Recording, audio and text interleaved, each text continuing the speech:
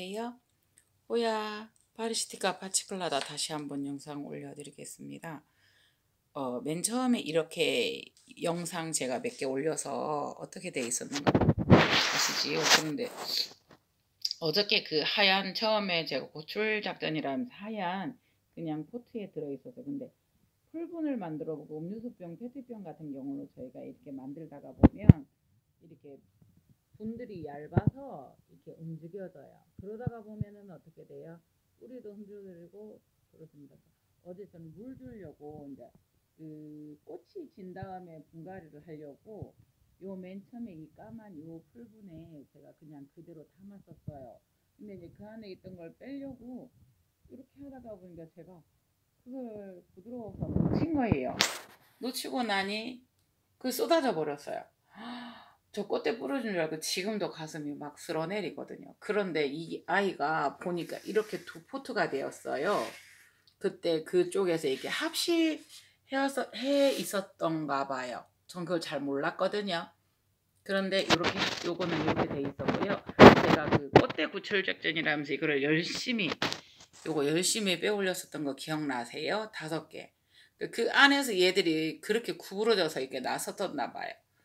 그걸 몰랐었죠. 그래서 꽃이 있어서 아예 손댈 생각을 못 해봤었는데 지금은 이렇습니다. 이거는 지금 완전히 다 펴서 꿀도 뚝뚝 떨어지고요. 보시겠어요? 또 집에도 이게 한 포트가 있는데 꽃대가 보면 얘는 맨 처음 꽃이 피고 꽃이 졌었어요. 그런데 자세히 한번 보시겠어요? 꽃망울이 아에서 몽울몽울 또 터지는 거예요. 이 아이는 보니까 꽃망울이 하나고 크게 형성된 게 아니고 그 자체에서도 몽울몽울 또 이렇게 동글동글동글 이렇게 꽃망울들이 또 또 또 형성되는 그런 특성이 있는 것 같아요. 그래서 지금 이렇게 아이들이 꽃이 핀 상태에서 이렇게 되었는데 여기는 다섯 다섯 송이예요. 또 이렇게 보니까 되게 예쁘지요.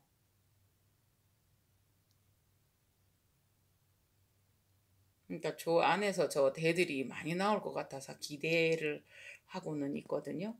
그래서 어저께 정말 정말 많이 놀랐었어요. 그래서 이 아이가 지금 이렇게 돼서 투포트가 되어버렸어요. 그 웃어야 될지 울어야 될지 처음에 정말 난감했었거든요. 그 지금 식물 LED 등이 반대로 비쳐서 화면이 그렇게 뭐 많이 예쁘고 그러지는 않아요.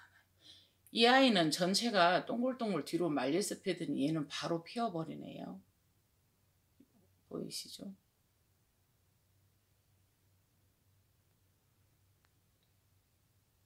엄청 신기하죠. 이상입니다.